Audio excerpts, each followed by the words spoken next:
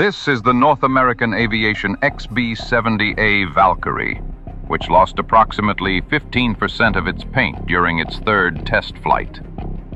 The day was the 12th of October 1964.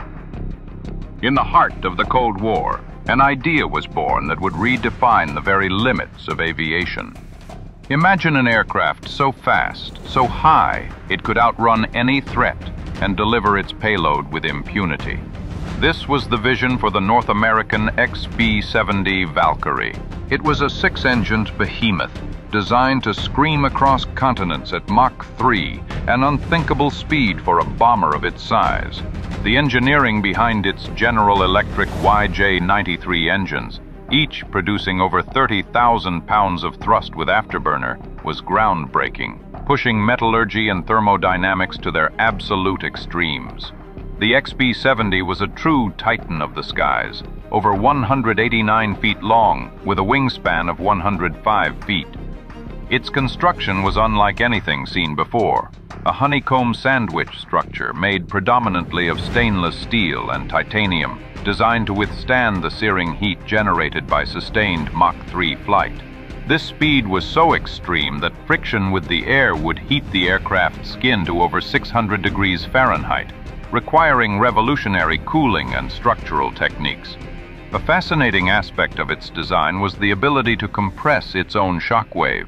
By folding its wingtips downwards by up to 65 degrees at supersonic speeds, the XB-70 could essentially ride its own shockwave, improving lift and efficiency. A concept called compression lift.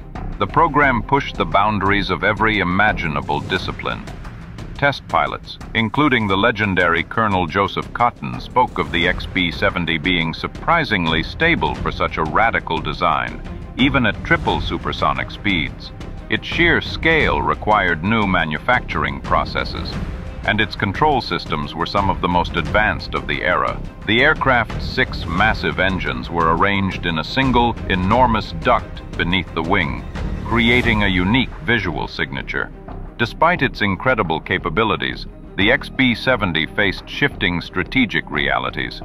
The advent of intercontinental ballistic missiles meant that a Mach 3 bomber, no matter how formidable, was seen by some as an increasingly vulnerable and astronomically expensive concept. Tragically, on June 8, 1966, this second XB-70 was involved in a mid-air collision during a photo shoot.